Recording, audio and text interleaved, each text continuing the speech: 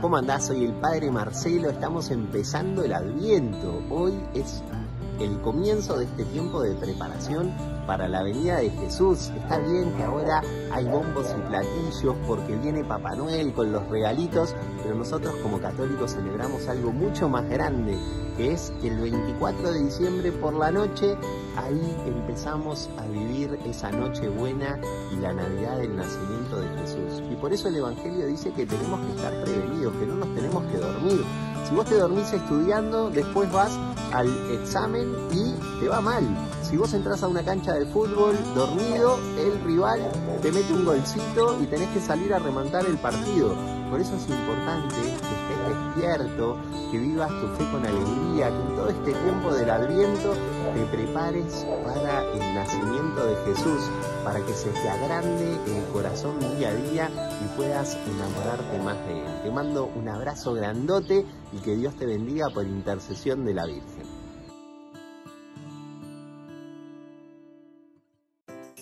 Se nos acerca el cumple de Jesús y hay que prepararse, como nos dice el Evangelio de hoy. La historia que tenemos es de nuestro amigo Simón, del Club de Jesús. Simón siempre dejaba todo para último momento y esto le generaba algunos problemas en casa. Demoraba horas para bañarse, para hacer los deberes, para ordenar juguetes. Siempre agotaba la paciencia de su familia que tenía que pedirle 100 veces para que hiciera las cosas. Llegó el cumple del mejor amigo de Simón, y como de costumbre, la mamá le pidió dos horas antes que se aprontara. Pero Simón obviamente se quedó jugando hasta que se hizo la hora.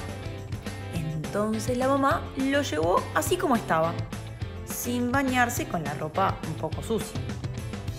Cuando llegó el cumple, Simón vio que todos estaban bañados, perfumados y vestidos para la ocasión. Todos habían dedicado tiempo en prepararse para el cumple era un momento muy especial el celebrar con este amigo, pero Simón se perdió en otras cosas. Él no estaba preparado. Capaz que nunca lo pensaste, pero cuando tenemos un cumple, el más importante es el cumpleañero. Y mientras nos preparamos y ponemos más lindos y prolijos, también nuestro corazón se prepara. Se viene el cumple de Jesús y, como dice el Padre Marcelo, podemos distraernos con otras cosas, capaz nos olvidamos que todos los amigos de Jesús celebramos su cumple. Queda el desafío para todos de irnos preparando. Y no solo bañarse y ponerse lindos, sino preparar el corazón.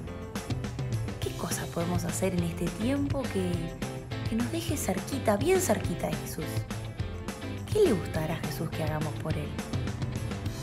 Amigos de la palabra en a prepararse que en unos días celebramos juntos el nacimiento de nuestro gran amigo. Así que a prepararse todos los amigos del Club de Jesús para este día tan esperado y festejar con él.